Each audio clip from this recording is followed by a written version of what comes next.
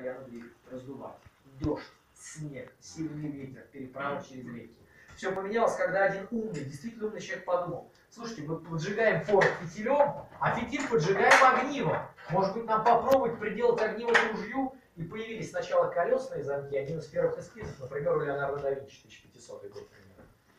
А, а потом их начали делать. Видели в музеях ружья вот с такими круглыми замками? Ключ ставится, как в будильник старый, грубо говоря. Там вращается колесо на пружинке и рубит перит, не кремень, перит. Искр много, оно почти всегда срабатывает. Но очень сложно, очень дорого и главное, от 5 до 10 выстрелов и нагар порох- пороховой забивает систему насмерть, уже рукой не провернешь, чистить, разбирать надо. Поэтому со временем делают вот такие кремниевые удары. Видите, действительно огниво.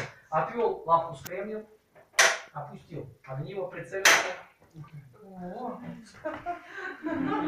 Магия. Вспышка искры от колотый кремень.